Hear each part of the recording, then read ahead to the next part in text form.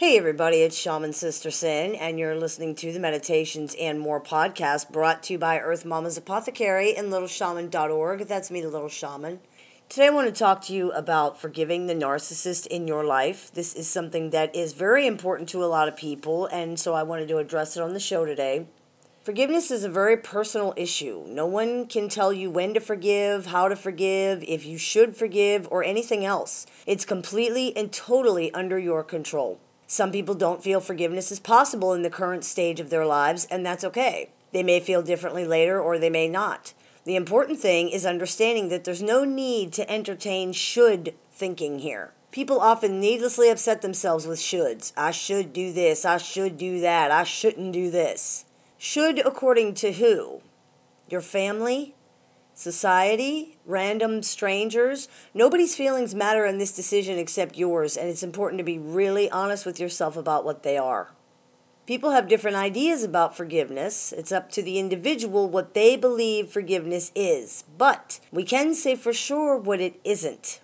It isn't relieving someone of their responsibility. It isn't pretending the past doesn't exist.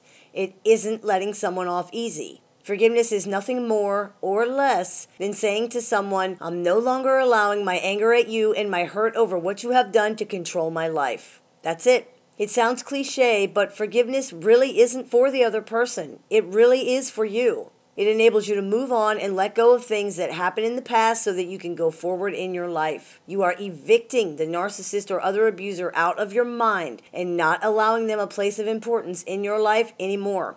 It doesn't mean the person did nothing wrong. It doesn't mean the past is erased. It doesn't absolve the abuser of their responsibility. It doesn't mean everybody is friends now and all the hurt is forgotten. It doesn't mean you're weak. On the contrary, forgiveness requires strength.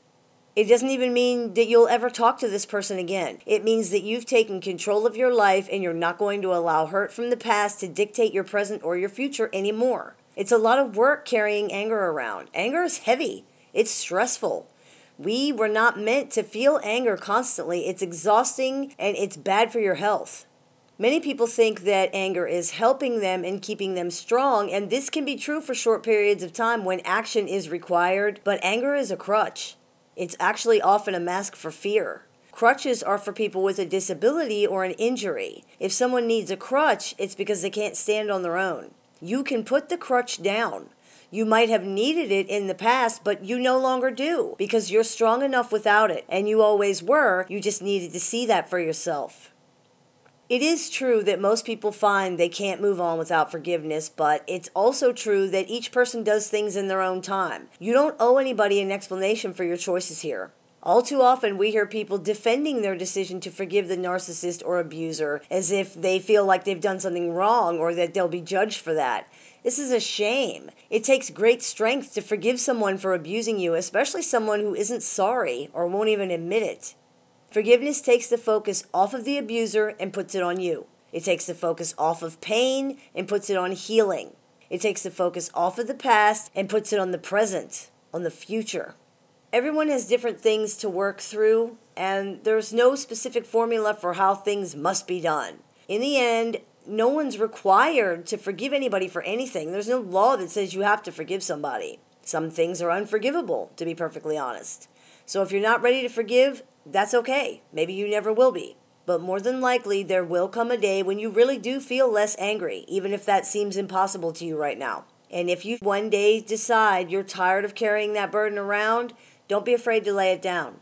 No one will think any less of you for it, and you might just find that that's the freedom you've been looking for.